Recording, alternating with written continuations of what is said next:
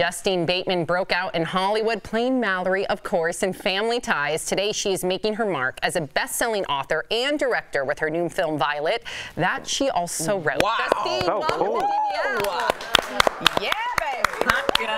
Wow. And Justine, I mean, first of all, you wear many hats. We're going to get to Violet. Very exciting. But as you can tell, we're all dressed up.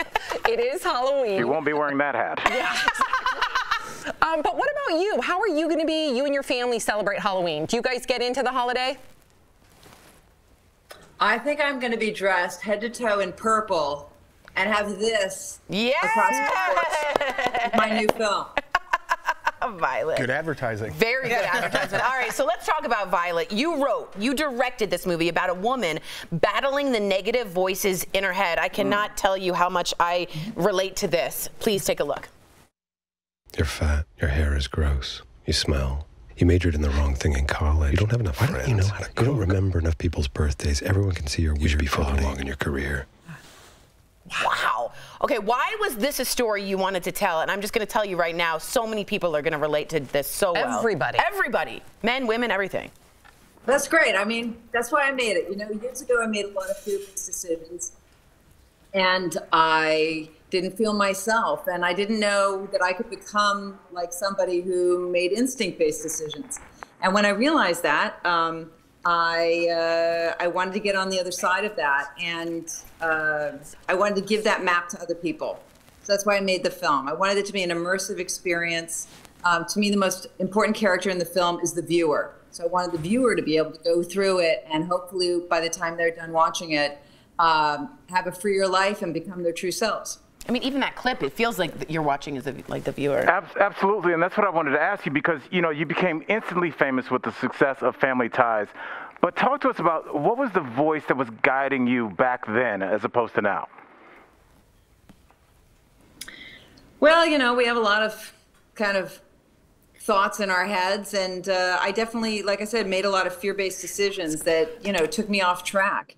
Um, I would see people who were more confident and were making instinct-based decisions, and I really wanted to be like that. And I didn't know I could transition from being one type to another.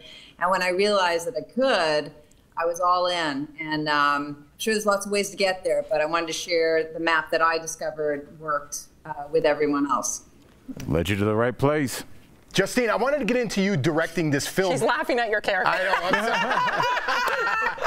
I'm sorry. I Oh. I love it. It's great. I've embarrassed myself. But when we just played that little clip, No, it was great. It, was interesting. You had Justin Theroux, right, being the voice of inside a woman's head. I found that interesting. Yeah. Why did you choose a man to be inside the woman's head? Something that made the biggest difference for me when I transitioned from making fear based decisions to instinct based decisions was as an experiment thinking about these thoughts as if somebody else was saying them to me. If somebody else was saying them to me, would I s- treat them with as much validity? Would I think they were true? Hmm. And so that made a massive difference for me. In doing that, I could look at what was being said objectively and see that they were lies, because they're all lies. So I wanted to give that to the viewer. I wanted the voice of her negative thoughts to be so different oh, from Oh, wow. Olivia Munn that it would help the audience to think of their own negative thoughts as if someone else is saying them so they could look at them objectively. Wow. Let's talk about filters, not only just filtering in your head, but filters on social media, because you had a very strong reaction to someone who filtered your face online. So, why are filters so dangerous, in your Yeah. opinion? Oh, whoa. Yes, look at that. Wow. Um, yeah, I find that very um, uh, dismissive and like an effort to delete who somebody is, delete them, delete them as a species, delete them as a human, delete them, delete everything they've ever done in their life, delete every bit of their personality. Um, yeah, that's a world I don't want to live in. So, yeah, I found that to be the most offensive picture of myself I'd ever seen online. Wow. I'm so happy to hear. And there's a book Yeah. called- yes. I wanted to talk Yeah. about your book because honestly. And there's honestly, a it, book I wrote called Face. Yeah, you're, Uh, face one square foot of skin that uh, is about women's faces getting older and why that makes people angry.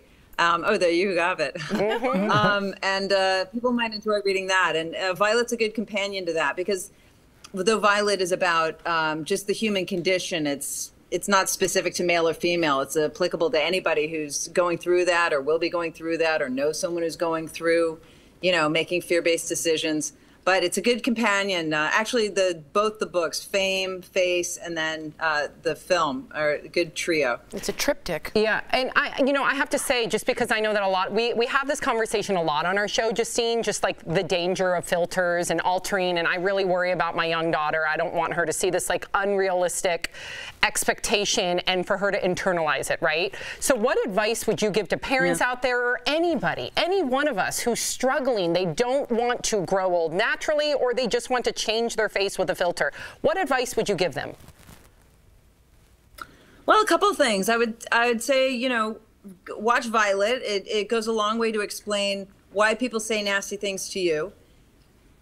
The shorthand is that when someone says something nasty to you or says, "Oh, you look old" or whatever, they're telling you about themselves. Mm-hmm. They're not telling you about you. Mm. Okay, that's the first thing.